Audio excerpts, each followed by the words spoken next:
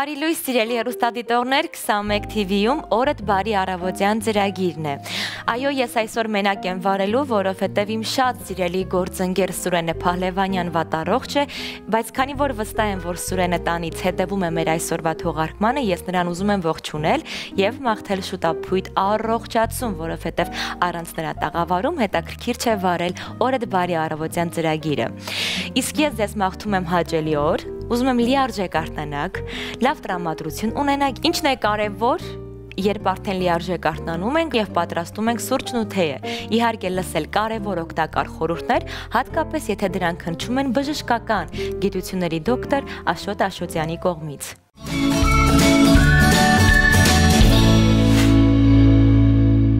Բոլորը հարգելի բարեկամներ, մենք հաղորդում ենք արել ձեզ հետ միասին բզուկների մասին այսօր կխոսենք բզուկներից մնացած հետքերի մասին։ Բզուկների լավանալուց բուժվելուց հետո հետքերը դեռևս երկար ժամանակ պահպանվում են եւ կոսմետիկ տհաճություն են պատճառում կանանց։ Ոստի այդ հետքերից ազատվելու համար կան տարբեր միջոցներ, որոնք դու կարող եք օգտագործել եւ ազատվել բզուկներից հետո մնացած այդ տհաճ հետքերից։ Ինչ կարող եք անել վերցնում եք կես ճաշի գտալ կապ, խառնում եք 3-4 կաթիլ խնկոն ու յուղ, խնկոնին դա ռոզմարինն է, եւ մի քիչ ջուր, խառնում եք եւ պատրաստում եք այսպես ասած թթվասերի թանձրությամբ քսուկ եւ դեմքին դնում եք դիմակ։ 15-20 րոպեից հետո կարող եք դիմակը մաքրել։ Դա կարող եք անել շաբաթը 1 կամ շաբաթը 2-3 անգամ։ Հիանալի միջոց է այդ պրոդուկտներից մնացած հետքերից ազատվելու համար։ Նարգիզի հյութը Նարգիզը կարող եք քամել եւ նարգիզի հյութը, թարմ հյութը սկսել այդ պրոդուկտներից մնացած հետքերին կամ նույնիսկ ամբողջ դեմքին, որը տալիս է նաեւ հրաշալի արդյունք, փոքրացնում է դեմքի վրայի ծակոտիները, մաքրում է այդ սպիները, լակաները եւ դեմքին տալիս է նորմալ թարմ տեսք։ Կարող եք վերցնել հալվե, հալվեն հավասար քանակությամբ խառնում եք մեղրի հետ եւ դարձյալ դեմքին դնում եք դիմակ 20-ից մինչև 30 րոպե տևողությամբ կարող եք դնել ամեն օր կամ օրը մեջ եւ մաքրել։ Կարող եք վերցնել սրոհունդի ոգեթուրմը։ Սրոհունդի ոգեթուրմը երկու ճաշի գտար չորացրած մանրացրած սրոհունդը, սրոհունդը դա զվերաբոյն է, լստում եք 200 մլ 96%-անոց սպիրտի մեջ, թրմում եք 10 օր, քամում եք եւ դրանով մաքրում եք դեմքը կամ կարող եք դնել 1-2 րոպե դրանով դեմքին թրշոցներ։ Կարող եք ամեն առավոտ նույնիսկ տանից դուրս գալուց հետո խնձորի քացախով մեկը 3-ի հարաբերությամբ ջրով խառնած կարող եք դրանով մաքրել դեմքը։ Մաշկը ձգվում է, թարմանում է եւ աստիճանաբար այդ վրայի եղած պտուտներից մնացած հետքերը սկսում են անցնել։ Կարող եք վերցնել խնկունի 2-3 կաթիլ խառնում եք ձիթապտղի յուղի հետ, վերցնում եք 1 կաթիլ կիտրոնի, 1 կաթիլ դարչինի եւ 1 կաթիլ նարդոսի յուղեր։ Այդ բոլորը խառնելուց հետո դրանով կարող եք դեմքին դնել դիմակ 15-20 րոպե տևողությամբ եւ մաքրել։ Հարգելի կանայք, ձեզ առողջություն եմ ցանկանում, ոչ նոր հանդիպում, ցտեսություն։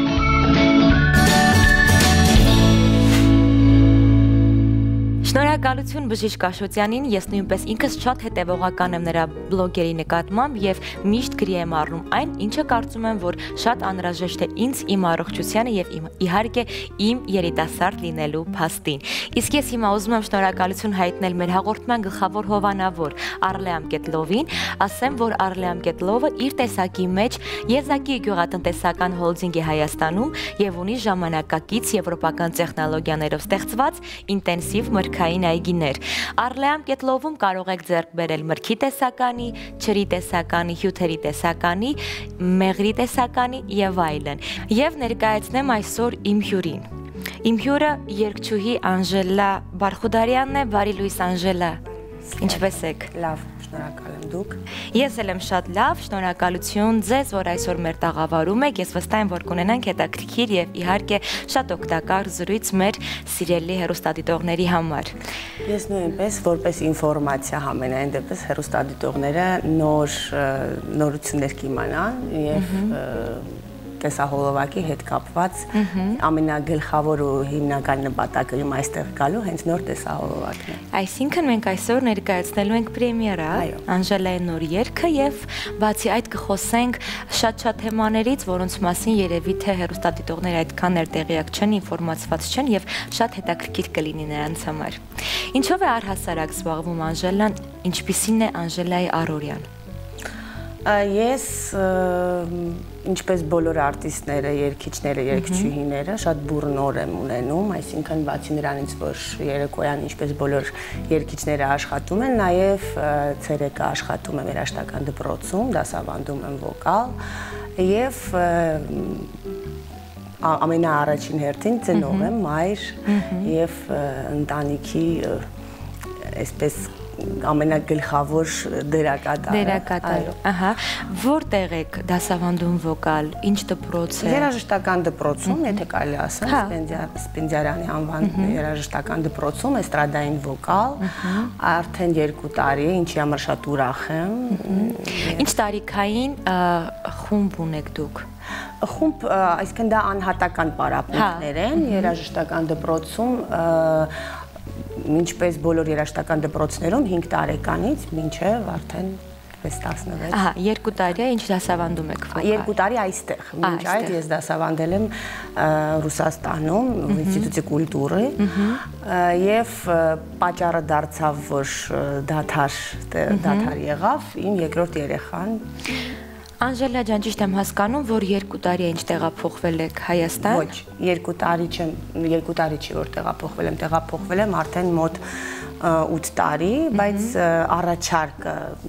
Հա, աշխատելու հասկացա, նախքան այդ ապրում էիք Ռուսաստանում, աշխատում էիք եւ ստեղծագործում էիք այնտեղ։ Նախ ես ինչպես հասկանում եմ, առհասարակ տեղյակ չեք դուք, ինչի համար։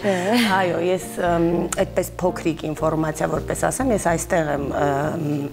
սովորել, ավարտել կոնսերվատորիան եւ ունեցել եմ մեծ ճանապարհ Ինձ հետաքրքիր է ընթացքը, երբ դուք տեղափոխվեցիք Հայաստանից, որովհետեւ դուք նշեցիք, որ նախքան այդ աշխատում էիք Ռուսաստանում։ Այո, որովհետեւ ես Հայաստանից Ռուսաստանից ստացա հրավերք եւ այնտեղ աշխատում եմ որպես մեներչուհի, այո, որպես մեներչուհի էստրադային սիմֆոնիկ նվագախմբում աշխատում եմ 1 տարով է ընդամենը կոնտրակտը կապել, բայց տևեց երկար ժամանակ, այո եւ ինչպես ասում են հողը եւ ջուրը ձգեց եւ նորից վերադարձա եւ հիմնական պատճառը դա իմ մեծ աղջիկներ, որը պիտի գնար դպրոց արցե եւ մենք այդպես որոշեցինք, որ անպայման պիտի Երևանում գնալ երեխան դպրոց եւ վերադարձանք։ Այսինքն հիմնական պատճառը Երևան վերադառնալու եւ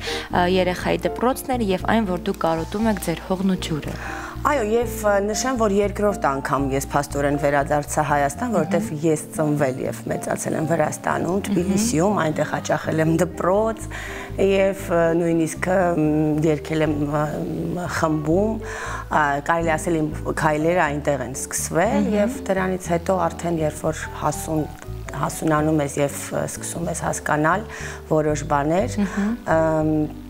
այդպես մոտեցա մայրիկից, ասեցի, որ Կարելի ասել մի կողմը Թիֆլիսից է, հա, ձեր հայրական թեմայի։ Կարելի ասել, որ ամբողջությամբ չէ, մայրիկս Երևանցի է, բնիկ, papas, papaիս մայրը նույնիսկ վրացուհի։ Վրացուհի։ Այո, եւ սենց կիս կիսով չափ վրացու եմ, այո։ Եվ տիրապետում եք վրացերեն լեզվին, եւ ռուսերեն լեզվին, եւ հայերեն լեզվին, ինչպես հասկացանք։ Հրաշալի է։ Մենք կհասցնենք դեռ վրացերենով ինչ որ մաղթանք ասել մեր հերոստատիտողներին։ Վերադառնանք Հայաստան, ներկայիս գործունեությունը ձեր դասավանդելն է եւ նաեւ երեկան աշխատանք, ինչպես մյուս երկի ջերչուհիների մոտ երգում եք ինչ որտեղ։ Իսկ ինչ որտեղ տարբեր տեղեր, ինչ որ Հա, մի վայրում չեք երգում, մի քանի վայրեր եւ որպեսզի լսենք ձեզ կամ տեղեկանանք թե այսօր որտեղ եք ելույթ ունենալու դուք տեղեկացնում եք ես չէ եթե հետևեն իմ Instagram Instagram-յան էջին ապա կտեսնեն որտեղ եմ երգում որպես գովազ ես շատ լավ գիտեմ հերոստանգելություն այդպես լավ չի դիտվում դրա համար չբարձրաձայն եմ որտեղ եմ երգում ես նկատի ունեի հետևելով ձեր սոցհարթակներին Facebook YouTube կամ Instagram այո հերոստատիտողները կարող են հետևել Անժելա Բարխուդարյան Instagram-յան եւ Facebook-յան էջերում։ Անժելա ջան, ես առաջարկում եմ նախքան անցնելը ձեր երկի պրեմիերային, ունենանք կարճատև երաժշտական դաթար, որը կլինի հենց ձեր նախընտրած երգերից ձեր իսկ կատարմամբ։ Այո, ես կարծում եմ հիմա մենք կդիտենք Իմնես տեսահոլովակը, որը այո, որի երկի այդ երկի հեղինակը ես եմ եւ նկարահանվել է տեսահոլովակը 2018 թվականին։ Իմիջիալոց այդ երգը ունի նաեւ այլ տարբերակ, ավելի լիրիկական։ Շարունակելով մեր եթերը եւ իհարկե անդրադառնալով ամենակարևոր հարցին, հա, երկի պրեմիերային, նոր երգ, նոր տեսահոլովակ, ինչպես է կոչվում երգը եւ ով է հեղինակը, թե խոսքերի, թե երաժշտության։ Երգը կոչվում է Բրատ ռուսերեն լեզվով։ Ասեմ, որ այդ երգը շատ երկար էսպես ժամանակ ինձանից խլեց, որովհետև ես չէի կողմ հեղինակը ես եմ եւ խոսքերի եւ երաժշտության եւ չէի կողմնորոշվում հայերեն թե ռուսերեն եւ ասեմ որ միշտ իմ մեջ թեմատիկ այսպես երկ երբեք չեմ ներկայացրել եւ որոշվեց երկար սենց մտածելուց հետո որոշեցի, որ ռուսերեն երգեմ այդ երգը եւ եղբորս նվիրեմ բարձ պատճառով, որ շատ շատ եմ կարոտում նրան, ինչպես արդեն հաղորդման սկզբում ես նշեցի, որ նա ապրում է Վրաստան, այսինքն մենք մենք ընտանիքը Վրաստանում է ապրում։ Եվ նա այնտեղ ապրում իր ընտանիքը, հայրս եւ այդ կարոտը այդպես ինձ ստիպեց երկը նվիրել այո երկը նվիրել եղբորս տեսահոլովակը նկարահանեց Արմեն Գևորքյանը շատ երիտասարդ տաղանդավոր ռեժիսոր տեսահոլովակի մոնտաժային այդ ամբողջական փուլը էսկիզ ստուդիոյում արվեց Մաթենցյան Էդուարդ Մաթենցյանը արեց եւ այսպես հիմա չեմ չեմ կարող հա։ վերհիշել ինչ ամենակարևորը որ հետաքրքիր դրվակ տեսահոլովակի նկարահանման ժամանակ որ տպավորվել է ձեր մեջ նկարահանման ժամանակ կարող եմ նշել այն փաստը, որ նկարահանում այդ տեսահոլովակի նկարահանման ժամանակ ընդամենը երկու պրոֆեսիոնալ դերասաններ են եղել եւ այդ հարցում ինձ շատ է օգնել Ինգա Սարուխանյանը, որը ունի կաստինգ ստուդիա։ Այո։ Ինգային ողջունում եմ, ես անձամբ ճանաչում եմ նրան եւ մենք երկար տարիներ լավ գործընկերներ եւ ընկերներ ենք։ Ես հենց ինգային դիմեցի եւ շատ կարճ ժամանակ ունեինք, նա շատ արագ այդ իր աշխատանքը կատարեց, ինչի համար շատ շնորհակալ եմ եւ ասեմ, որ սա երկրորդ մեր համագործակցությունն էր։ Իր աշակերտներից էին մասնակցում։ Ոչ, մեծ տարիքով հա։ մեծ դերասաններ էին, Ռուբենը եւ Նաիրան։ Ահա, հասկացա, հասկացա։ Այո, նրանք շատ ճանաչված եւ տարբեր ֆիլմերում նկարահանվել։ Մեծ փորձ ունեցող ունեցող այո մեծ փորձ ունեցող դերասաններ էին ինչի համար եմ դա ասում ինչի համար եմ նշում որ ընդամենը երկու պրոֆեսիոնալ դերասաններ են եղել որովհետև փոքրիկ դերասանները, որը քուր եւ եղբայր են խաղում, փոքրիկ աղջիկը իմ աղջիկն էր։ Այո, եւ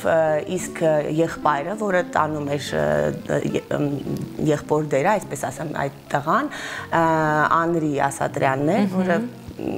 պարզապես հրաշալի խաղաց իր դերը եւ նույնիսկ երեխան ամենավերջում նկարահանման վերջում շատ հոգնած էր եւ ես նկա նկատեցի, որ արցունքներն էր գնում, բայց ինքը միևնույն է, այսպես ճպտում էր, որ պիտի պիտի միջև վերջ խաղա այդ դերը, այս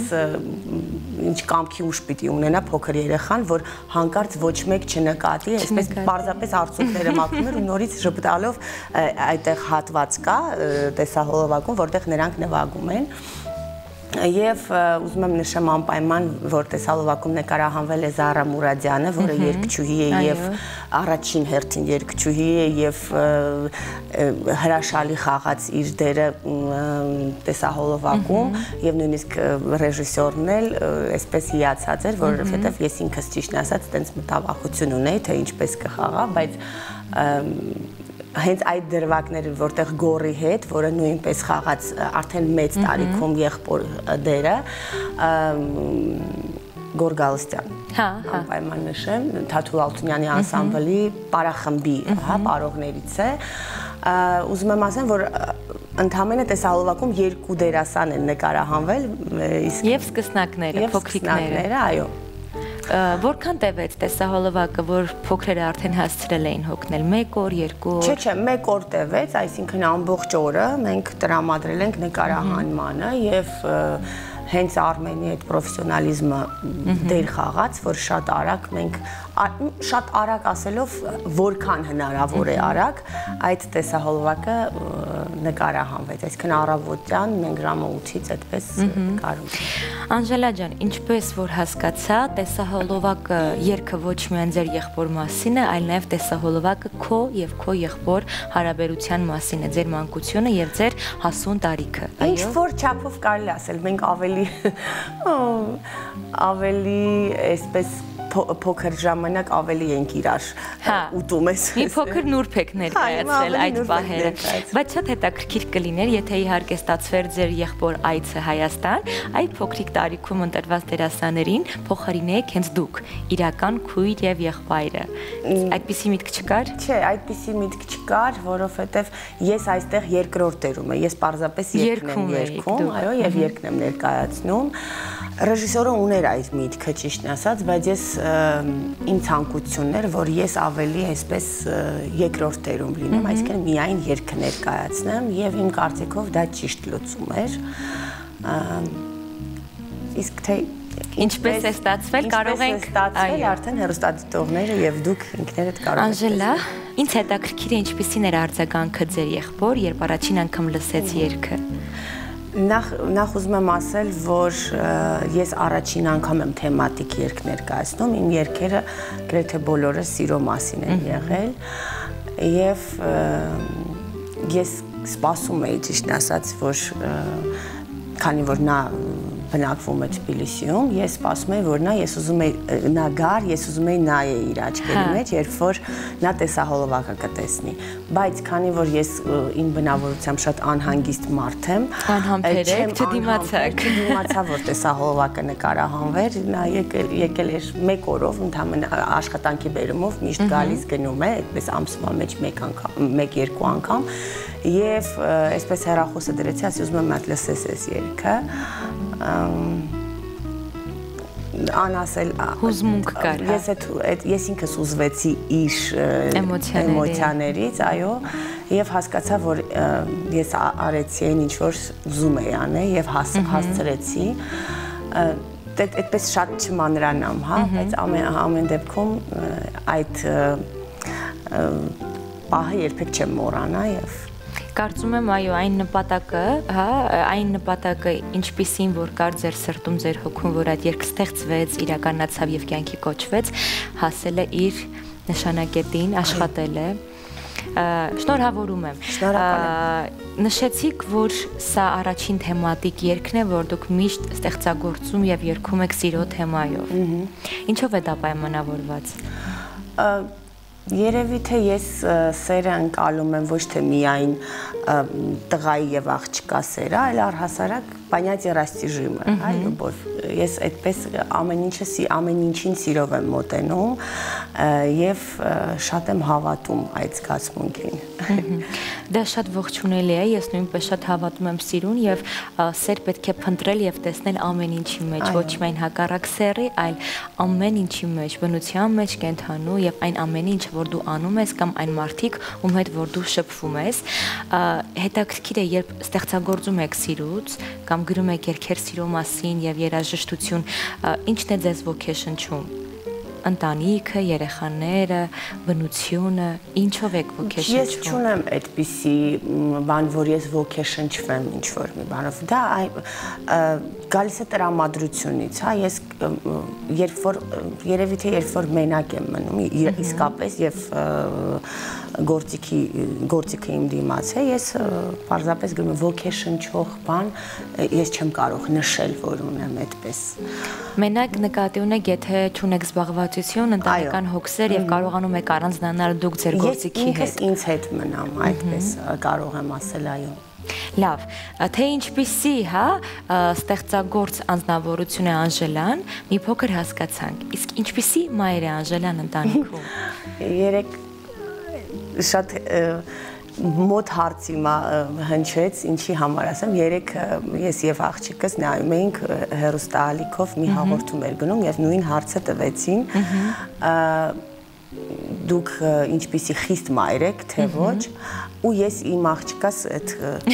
պահը սենց աչքերի մեջ նայեցի, սենց արեց։ Պարզա։ Արդեն ինձ համար չէ, ես որպես մայր այո խիստ եմ, նով միրու հա, այնպես չոր բիսֆանատիզմը, հա, այսպես։ Համենայն դեպս ես ավելի առաջին հերթին ընկեր եմ իմ երեխաների համար, հետո նոր արդեն սենց իմ այդ խիստ մաման միանում է։ Այ որպես ընկեր, աղջիկ երեխա ունեք, որպես ընկեր իհարկե ոչ թե որպես մայր ամենակարևոր ընկերական խորհուրդը որ տալիս եք ձեր աղջկան ես միշտ ասում եմ վարվիր այնպես ինչպես կուզեիր որ քեզ հետ վարվեին ես միշտ դա շեշտում եմ մեր պատվիրաններից մեկը դիմացինի հետ վարվիր այնպես ինչպես կցանկանաս քեզ ու դա այդպես է իսկապես ու փորձում եմ համոզել իրեն որ միշտ ինքը ինքը մտնի դիմացինի դրության մեջ պատկերացրու դու այդ մարդն ես եւ ինչ ինչ ինչպիսի քայլ կանես այսինքն այդ բռնկվածությունը ինչ որ էմոցիաները դիր մի կողմ չնայած ես լինելով էմոցիոնալ էմոցիոնալ մարդ դա նոր-նոր եմ հասկանում որովհետեւ տարիքի ընթաց տարիների ընթացքում արդեն հասկանում ես որ առաջի էմոցիա առաջի այսպես էմոցիոնալ քայլը դա կարող է սխալ լինել։ Եվ միշտ ես իմ աղջիկներին դա ասում եմ, առհասարակ միշտ ասում եմ, պետք է այն որ ասում են շուչ քաշի միջև 10-ը հաշվի, հա, մտածի այդ ընթացքում, հա։ Հասկացա։ Երկու աղջիկ ունեք։ Այո։ Տարիքը 10 շուտով 16 եւ 11։ Հա, բավականին մեծ աղջիկներ են։ Իսկ օգնում ես նրանց մասնագիտության ընտրության հարցում, ինչ ես կարծում ցկում է նրանց արվեստը, երաժշտությունը, երգը։ Փոքրին այո, փոքրը տարբեր խմբակներ եւ երգի եւ դաշնամուրի այդպես գնում է, բայց մեծ աղջիկս ավելի ուրիշ է, ավելի լեզուների, այտենց նույնիսկ արդեն ոնց որ թե մասնագիտությունը որոշել է, առհասարակ իրենց սովորելու հարցում ես կարող եմ ասել երջանիկ մայր եմ, որովհետև իրոք լավ են սովորում եւ ձգտում ունեն սովորելու, անընդհատ այսպես գուբկայպես քաշում են ամեն ինչ։ Իսկ ինչպես ես վերաբերում փոքրի ընտրությանը, սերը դեպի արվեստ։ Ես չեմ խանգարի, եթե իր ընտրությունը դա է, ես միայն կօգնեմ համենայն դեպս ամեն ինչով իրենց կողքին կանգնած կլինեմ։ Լավ։ Եթե վերադառնանք ձեր աշակերտներին, հա, որ դուք դասավանդում եք, պարապում եք, ինչ կասեք մեր ներկայիս երիտասարդ սերնդի մասին, այս սերնդի, ովքեր որ փորձում են մուտք գործել արվեստի աշխարհ։ Ինչպիսին են նրանք, ինչպիսին են մեր երիտասարդները այսօրվա։ Ես իմ իմ աշակերտներին նախ առաջինը միշտ ասում եմ, որ ինտելեկտուալ իրանք պիտի ավելի զարգացած լինեն։ Այսինքն այդ առհասարակ էս ինտերնետը ու հիմիկվա հայտնի լինելը դա չի պայման պայմանավորված է շատերի մոտ այսինքն իրենք ինչով են չափանիշը իրենց ինչով է շատ լայքեր, լայքեր, հա, հետևորդներ եւ այլն եւ այլն։ Ես նույնիսկ ես իմ երեխաներին եմ ասենք դու շատ հետևորդներ ունեցար, ինչ, ինչ ես անելու իրանց իրենց մոտ առաջի հերթին գիտես իրանք ինչքան գումար են աշխատում Այդ այսինքն այդ հարցը երեխաների մոտ առաջերտին, օրինակ մեր մոտ, երբ որ մենք փոքր էինք, այդ գումարի հարցը նույնիսկ չէր քննարկվում ընտանիքում, հա։ Ես հիշում եմ, որ ծնողիս ասում էի գումարի, նույնիսկ ինչ որ մամ գումար կտաս, ինչ որ փող կտաս, իսկ ինչի համար դու ինձ ասա, ես քեզ կառնեմ։ Հիմա երեխաների մոտ փոխվել է այդ ամեն ինչը ու ես համենայն դեպս դրական չեմ նայում դրան։ Ես հաս, ճիշտ եմ հասկանում, որ չեք ողջունում ճակերտավոր հեշտ ճանապարհով գումար աշխատել սոցհարթակներում։ Այո, եւ առհասարակ հեշտ այդ узнаваемость, а часом звездность. Это, это, это узнаваемость очень быстро проходит. Այսինքն եթե եթե դու հայտնի ես, պետք է իմանաս ինչով ես հայտնի, ինչի համար ես հայտնի եւ ինչ ունես տալու այն մարդկանց, ովքեր քեզ հետևում են հա? Իսկ այո, լրիվ լրիվ ձեզ հետ համաձայնում, հենց դա էլ ես ուզում եի ասել, դրան էի բերում եւ իսկ ինչ վերաբերում է աշակերտներին, հա, երեխաներին,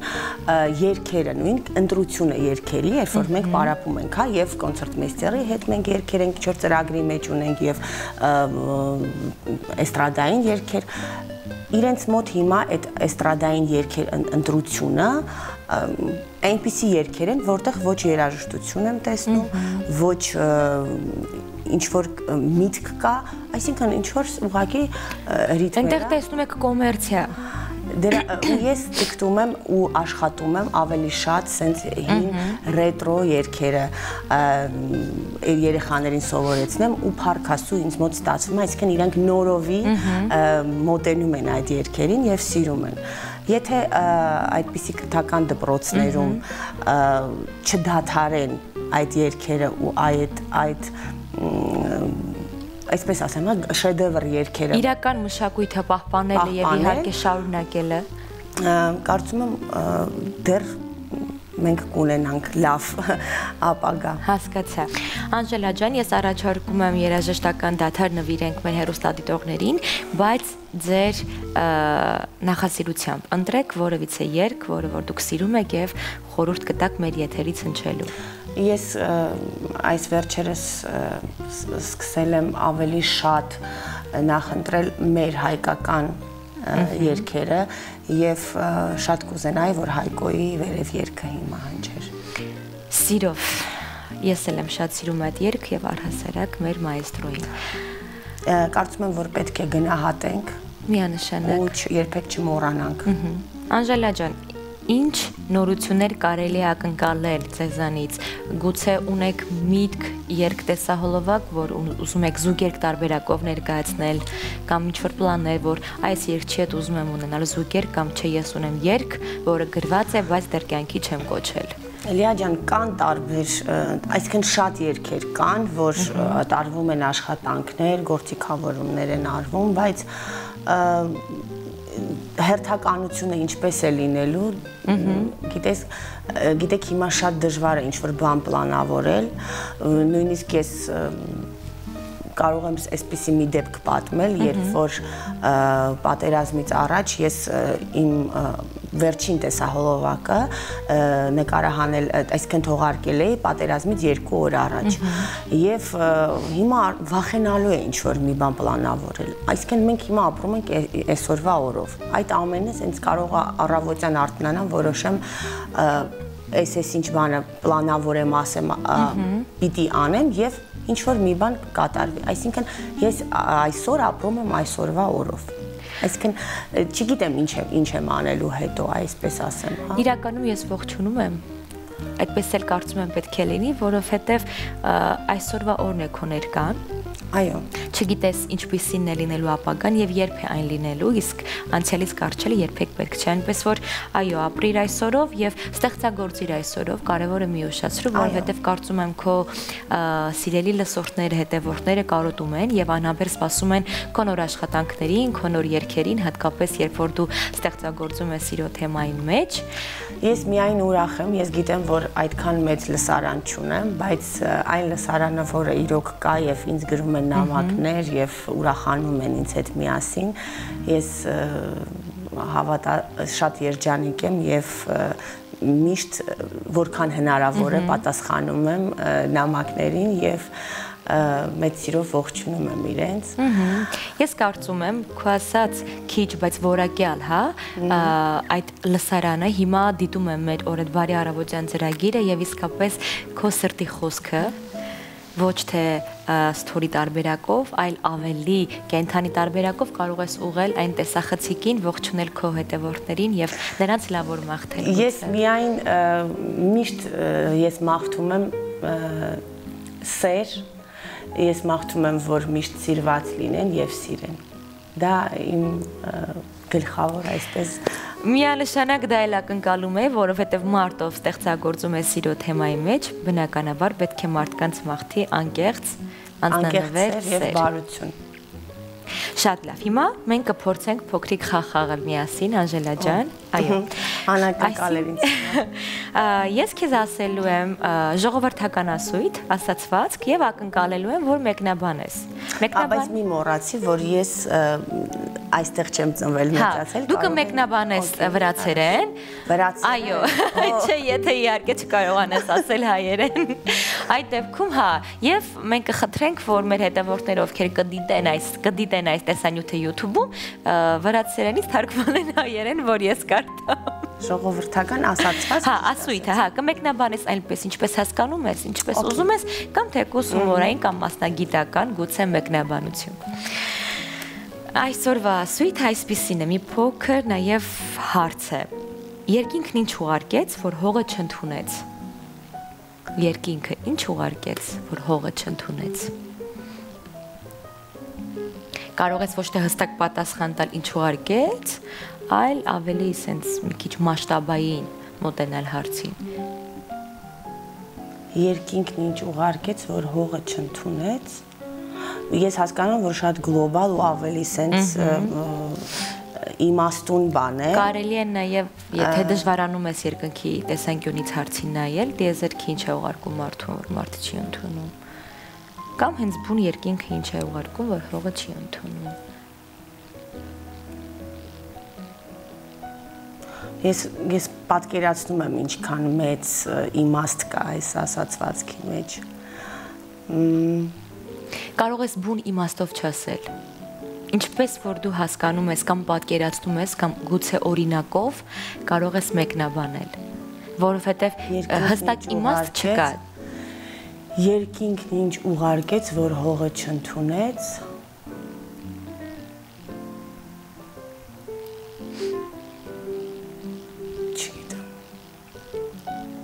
նուլամիկնի։ Ես էլ չունեմ պատասխան։ Մենք պետք է փորձենք փիլիսոփայել միասին։ Պատասխան չկա, սա հանելուկ չի, սա ասացվածք է։ Ես հասկանում հա։ եմ։ Կարող ենք այսպես վերլուծել, ասում է, հա, Աստվածաշունչը, որ մարդուն ստեղծել են հողից, հա, Աստված։ Հողը մենք ենք, մարդիկ։ Երկինքը դա մեր տիեզերքն է։ Ինչ է ուղարկում տիեզերքը մարդուն, որ մարդը, հա, որ մարդը չի ընդունում գուցե շատ մեծ էներգետիկա, որ մենք չենք ընդունում, որովհետև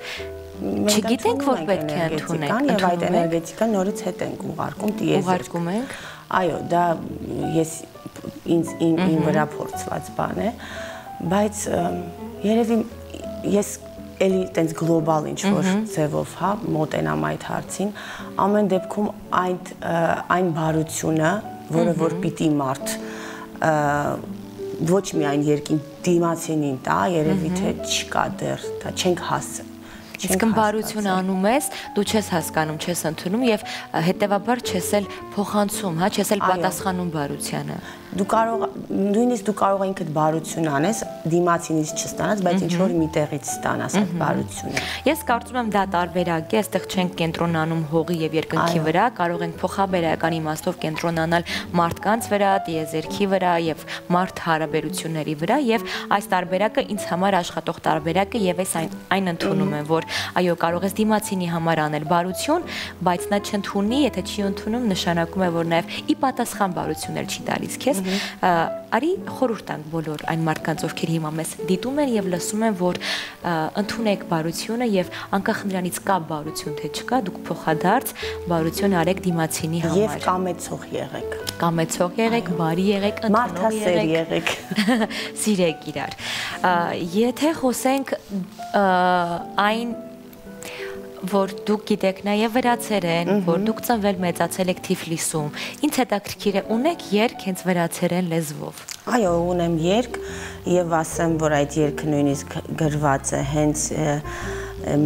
իմ մանկության մասին եւ երկ երգի հեղինակը Ռաֆի Ալթունյանն է։ Ահա։ Մենք միասին զուգերքով ենք, հա, Դուք եւ Ռաֆին եք։ հա։ Այո, միասին եւ այդ երգը նույնիսկ նկարահանվել է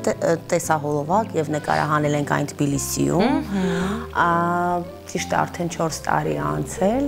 եւ դա իմ երազանքներից մեկն էր, որ ես երկեի այն քաղաքի մասին, որտեղ ծնվել եմ եւ մեծացել եմ, հուշերի քաղաք, այդպես է կոչվում։ Երկը կոչվում է հուշերի քաղաք, իսկ վրացերեն։ Վրացերեն է։ Չէ, վրացերեն ինչպես է ասվում հուշերի քաղաքը։ Момент чем я да, зазвал. Бай? Миро. Это у меня миро. պահա լինում, որ առհասարակ մոռանում եք, բայց բայց այսա երգը որ լսենք կհիշենք։ Շատ բարի, ողջունենք Ռաֆիին։ Կարծում եմ Ռաֆին էլ է դիտում մեր հաղորդումը։ Երգը գրել է Ռաֆին, այսինքն երաժշտությունը խոսքերը գրել է իմ մտերիմ ընկերուհին, որի հետ ես հաճախում էի դպրոց այնտեղ եւ նա նույնպես այդպես կարոտի զգացում զգացմունք ունենալով հիմա նա ապրում է Գերմանիայում, գրել է խոսքերը եւ այսպես մեր մոտ Վրաստան հա, Գերմանիայում ապրող ընկերուհին գրել է Հայաստանում ապրող ընկերուհու մասին, ով ծնվել է Թիֆլիսում ու գրել է վրացերեն։ Շատ հետաքրքիր հետաքրքիր է։ Անժելա ջան, շնորհակալություն ձեզ, որ այսօր դուք իմ հյուրն եք։ Ես եմ շնորհակալ, որ այսպես այսպիսի գեղեցիկ տաղավարում առաջին անգամ եմ ձեզ մոտ հյուր, վառ գեղեցիկ տաղավարում հյուրընկալեց ձեզ մոտ եւ ձեզ մաղթում եմ հաճելի հյուրեր եւ լավ օր բոլորիս։ Շնորհակալություն, շնորհակալություն նաեւ որ ձեր երկի պրեմիերան վստահեցիք հենց մեզ։ Ես ձեզ մաղթում եմ նորանոր հաջողություններ ձեր կարիերայի մեջ, նոր վերելքներ, երկեր, տեսահոլովակներ, համերգային ծրագրեր եւ նաեւ այդ Թբիլիսի առնելու ձեր ծննդավայրի կարոտը եւ վերհիշելու ձեր քաղցր մանկության հուշերը։ Շնորհակալ եմ շատ մեծ։ Այո, մեր հաղորդումը մոտեցավ իր տրամաբանական ավարտին։ Ուզում եմ նաև շնորհակալություն հայտնել մեր հաղորդման գլխավոր հովանավոր Արլեամ Կետլովին, որը իր տեսակի մեջ Եզակի գյուղատնտեսական հոլդինգ է Հայաստանում եւ ունի ժամանակակից եվրոպական տեխնոլոգիաներով ստեղծված ինտենսիվ մրգային այգիներ։ Կետլովից դուք կարող եք ձեռք բերել մրգերի տեսականի, ջրերի տեսականի, բնական հյութերի կոմպոտի տեսականի եւ այլն։ Եվ այն մարդիկ, ովքեր դեռ չեն հասցրել բաժանորդագրվել մեր 21 TV YouTube-յան պաշտոնական ալիքին, հենց հիմա խորհուրդ եմ տալիս բացել, սեղմեր զանգակին բաժանորդագրվել, հետևել մեր հաղորդումներին եւ այն հաղորդումներին, որոնք որ դուք չեք հասցրել դիտել եւ իհարկե թողնել ձեր մեկնաբանությունները, որովհետեւ որովհետև մենք դրանց շատ ուրախadir ենք եւ շատ գնահատում ենք։ Ձեզ բոլորիդ հաճելի օրվա շարունակություն։